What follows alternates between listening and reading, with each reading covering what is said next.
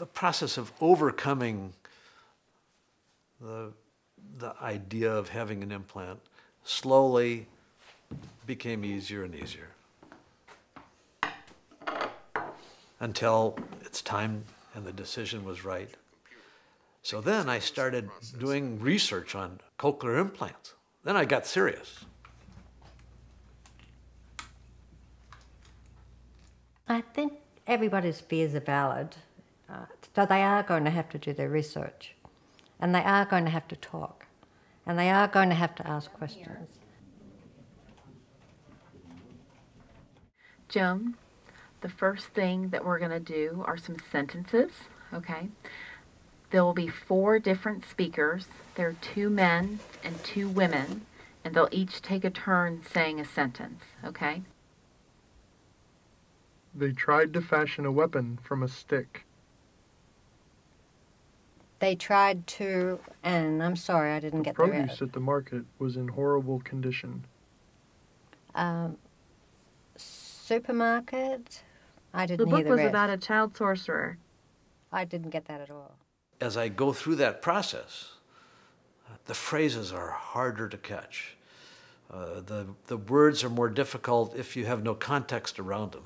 When we consider somebody for a cochlear implant, we consider their natural hearing. So when we did those soft sounds, and you indicated when you heard those with the button. Um, and then we look at their speech perception with appropriately fit hearing aids. Okay. At the top, we have the frequency range going from low frequencies to high frequencies. Okay. On the side, we have volume. So we go from soft all the way down louder sounds at the bottom. When I had finally had another test, and it was explained to me that in a cochlear implant, the doctor explained this to me, that he just goes in, he doesn't even he doesn't even have to shave away any of the hair he had, which was not a big issue with me, but he was just explaining how easy it is.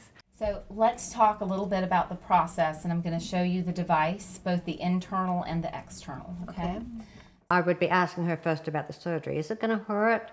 How long am I going to be in hospital? Um, what's the recuperation time? Will it work?